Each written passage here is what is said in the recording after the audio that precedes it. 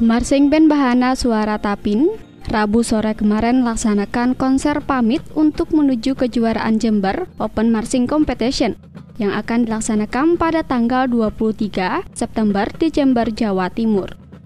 Dilaksanakannya konser pamit ini selain sebagai latihan juga sebagai uji coba tim Bahana Suara Tapin untuk mengikuti kejuaraan JOMC nanti dan juga untuk berpamitan kepada masyarakat Tapin agar nantinya keberangkatan mereka bisa didukung penuh. Ibnu Mas'ud selaku Kepala Bidang Seni Budaya mengatakan, tim Bahana Suara Tapin untuk saat ini sudah siap untuk mengikuti kejuaraan di Jember. Namun dalam beberapa hari ini, seluruh tim sedang dikarantina. Hal ini dilakukan untuk lebih mematangkan lagu persiapan mereka untuk lebih baik lagi. Beliau menambahkan, pada tahun kemarin Marching Band Bahana Suara Tapin memperoleh peringkat ketiga. Dan untuk kejuaraan tahun ini, beliau mengharapkan dapat menorehkan prestasinya kembali untuk Kabupaten Tapin pada khususnya. Sudah siap untuk mengikuti lomba, itu yang pertama.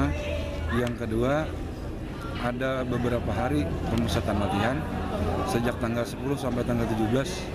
Jadi anak-anak itu diminta tidak hadir ke sekolah untuk pemusatan latihan.